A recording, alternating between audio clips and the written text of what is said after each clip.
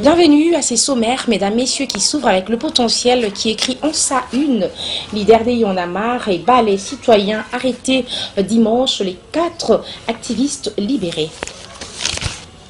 La tempête des tropiques, dès son côté titre, en sa une dans les buts des favoriser un glissement contre les élections présidentielles et législatives. La traque des groupes armés ralentit. La même information relayée par la prospérité, on a marre, citoyen Filimbi, Lambert Mende dénonce un complot. Retournons enfin sur le potentiel pour boucler cette présentation des titres. Renouvellement du mandat de la MONUSCO, le Conseil de sécurité se prononce ce jeudi. Voilà tout pour les sommaires. Mesdames, Messieurs, bienvenue à cette revue de presse. Bonsoir, les rebelles arrêtés à Kinshasa, tout le monde en parle. Et le confrère Le Potentiel écrit en une dès sa manchette.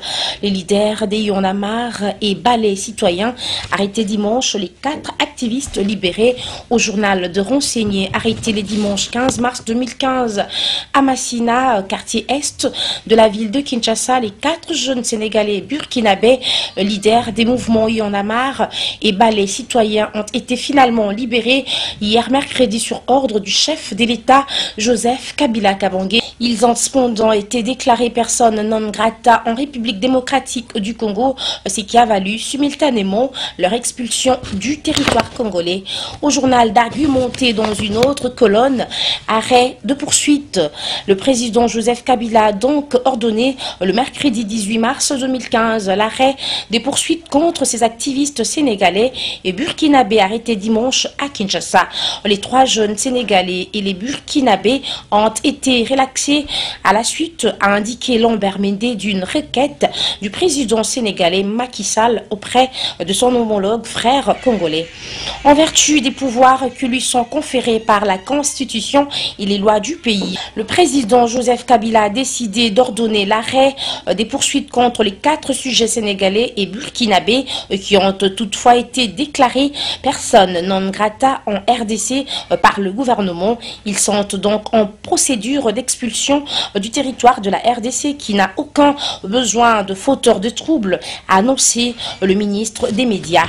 Au journal de poursuivre, le chef de l'État congolais a pris euh, cette décision après avoir suivi la déclaration pleine de bon sens du président sénégalais Macky Sall qui s'est refusé de porter un jugement sur le bien fondé ou non de cette démarche de ses compatriotes.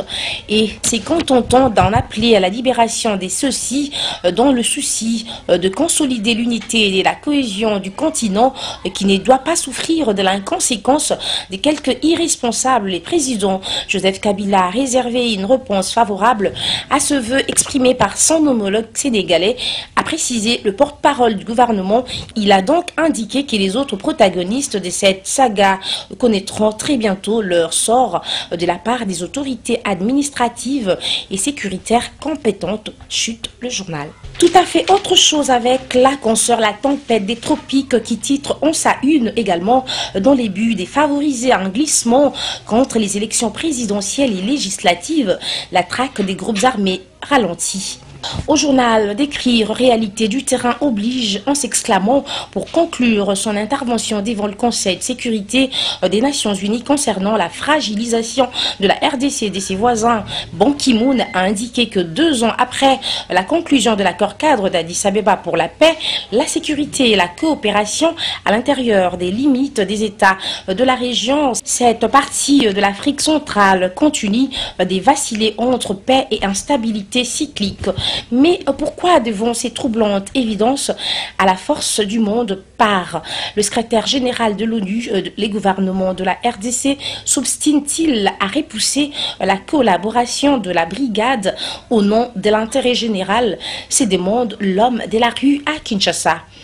Les cours des événements sanglants que le pays ne cesse de vivre ces derniers temps portent à croire qu'il s'agit là des situations voulues par les financiers qui ont intérêt à pérenniser l'insécurité et l'instabilité dans les régions concernées du pays, au sud du territoire de Lubero et à Bunagana au nord Kivu, à Itombwe en territoire de Mwenga au sud Kivu, ainsi de suite. C'est donc ainsi que l'on parle de plus en plus d'un nouveau facteur qui favoriserait un glissement contre les élections présidentielles et législatives prévues en 2016 en RDC. Au journal de Ronchérir, il s'agit, on s'en doutait, de la stratégie des temporisations dans la traque des groupes armés qui rejoint l'observation de Ban Ki-moon, selon laquelle les rythmes imprimés jusqu'ici à la traque des FDLR et d'autres groupes armés est très très long et que les territoires qui constituent les théâtres des événements sanglants actuels vacillent entre paix et instabilité aux forces politiques et sociales acquises au changement d'ouvrir l'œil et les bons s'exclame le journal. La même information relayée par La Prospérité, y en a marre, balai citoyen Philimbi, Lambert dénonce le complot. Dans son argumentaire, le journal écrit l'affaire circule sur toutes les lèvres depuis dimanche dernier à Kinshasa et dans le monde, que des activistes sénégalais du mouvement Yonamar ainsi que leurs colistiers du ballet citoyen du Burkina Faso s'y soient retrouvés à Massina pour mettre de l'eau au moulin d'un mouvement dit Filimbi des fabrications congolaises. Ne relève pas d'une petite céléjade et surtout qu'à la place visée lors de l'intervention de la police, des connexions ont été signalées avec des responsables de quelques chancelleries occidentales, en l'occurrence les USA, procèdent simplement d'un projet de contenu hostile au régime de Kinshasa. Lambert Mendeo Malanga l'a dit en des termes précis hier, en marge d'une communication gouvernementale. Il voulait ainsi recadrer les choses en même temps placer les points sur les i d'entrée rancherie le journal, la conclusion qu'il en tire exige, selon lui, que le gouvernement remette les clepsydres à l'heure. Revenons à présent sur le potentiel pour boucler complètement cette revue de presse avec ses titres en bas dès sa une. Renouvellement du mandat de la MONUSCO, le Conseil de sécurité se prononce ce jeudi. Le Conseil de sécurité planche ce jeudi 19 mars à New York sur le renouvellement du mandat de la MONUSCO et de ses objectifs en RDC que deviendra la mission des Nations Unies pour la stabilisation de la République démocratique du Congo? MONUSCO après plus de dix ans euh, de présence sur le sol congolais, s'interroge le tabloïd de répondre. La réponse à cette question pertinente sera connue dans quelques heures à l'issue d'une réunion du Conseil de sécurité ce jeudi 19 mars à New York. Au menu des travaux, le renouvellement du mandat et des objectifs de la mission onusienne en RDC.